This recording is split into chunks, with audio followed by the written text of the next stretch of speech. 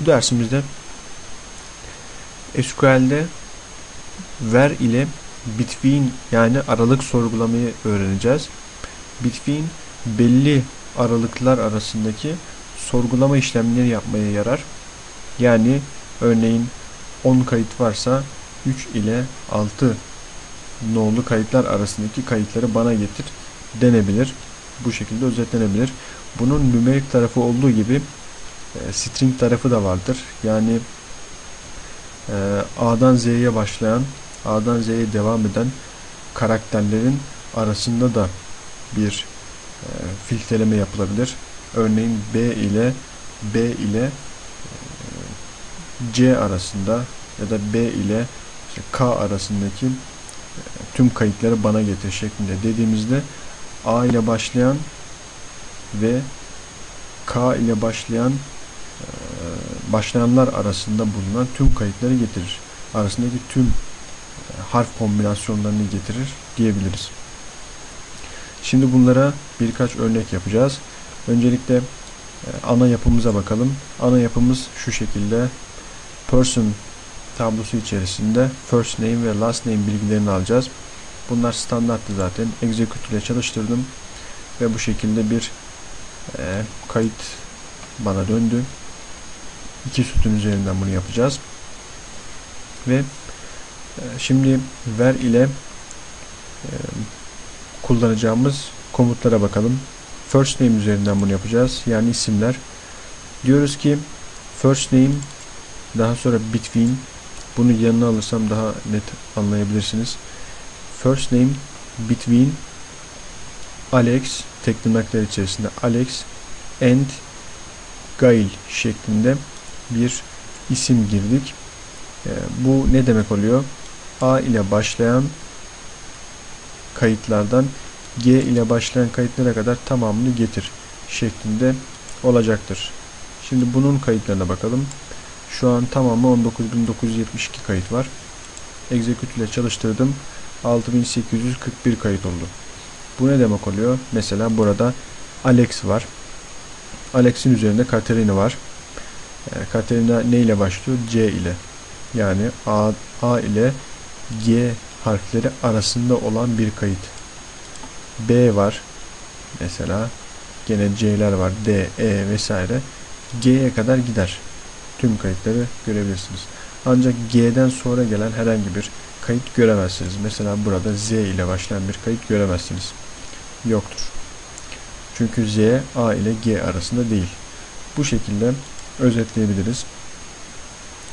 Ee, first name between aralık sorgulanacak e, yapının başlangıç değeri ve end'den sonra da e, aralık sorgulanacak yapının son yani bitiş değeri diyebiliriz. Şimdi bunun integer kullanımına bakalım. Aynı şekilde integer versiyonu. Integer'ı da business entity id sütun üzerinden yapacağız.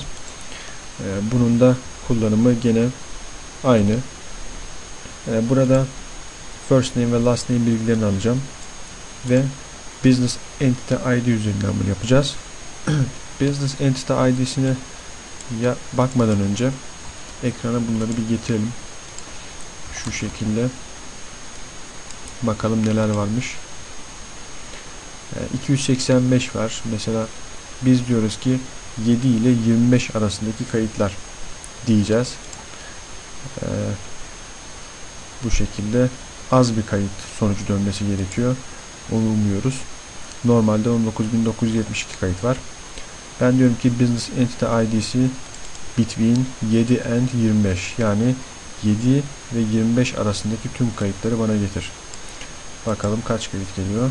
19 kayıt gelmiş. Şimdi buradan kayıtları gördük. Business Entity ID'leri. Diyorum ki 7 ile 10 arasındaki kayıtları getir.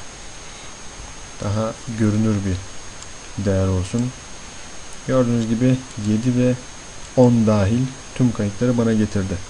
Bu şekilde aralık sorgulamayı da görmüş olduk. Şimdi bunun tersi versiyonu da var. Mesela Bitmin ile dedim ki 7, 8, 9 ve 10. kayıtları bana getir. Çünkü 7 ile 10 değerlerini verdim. Başlangıç ve bitiş olarak. Ancak şunu da diyebiliriz. 7 ve 10 değerleri ve arasındaki değerler hariç tüm kayıtları getirdi diyebiliriz. Onun için between'den önce bir not 2 vermemiz gerekiyor. Onun için de e, iki örnek hazırladım. Not between ile ilgili. O da şu şekilde. İlk olarak gene string ile başlıyoruz. String'de gene Alex ve Gail üzerinden yapacağız. Ee, gene aynı değerleri alacağız. Ben diyorum ki first name not between not olumsuzluk 2'dir. İngilizce'de bilirsiniz. Not between Alex and Gail şeklinde. Ee, burada şu demek oluyor. Alex ve Gail yani A ve G arasındaki kayıtlar hariç tüm kayıtları getir. Bakalım 13131 Mesela burada Y ile başlayan deseydim o zaman A ve G arasında hiçbir kayıt gelmeyecekti. Sadece muhtemelen Z'ler gelecekti. O şekilde bir sorguda hazırlanabilir. Şimdi bunun e, değişik versiyonuna bakalım. Şu 7 ve 10'u alalım. E, hatta daha büyük bir aralık yapabiliriz. Onun için gene aynı komutu çalıştıracağım burada. Yalnız başında not var. Yani olumsuzluk 2. Bunu not between ile çalıştırdım. Bana 19.947 kayıt geldi. Şimdi neler var en yüksek? Mesela 2170 var. 2170 ne olur kayıt. Ben diyorum ki onlar hariç olsun. 19.947 var. Bakalım. Şimdi 18.670. Gördüğünüz gibi benim istediğim kayıtlar arasındakiler gelmedi. Ee, onları istememiştim zaten. Çünkü not between kullandım. Burada 16.901 var. Bakalım bu sefer ne kadar kayıt gelecek. 16.901 execute evet 3876 kayıt döndü. Çünkü 1 ile 16.901 kayıtları arasındaki hiçbir kayıt e, getirilmemesi için bir sorgu hazırladım.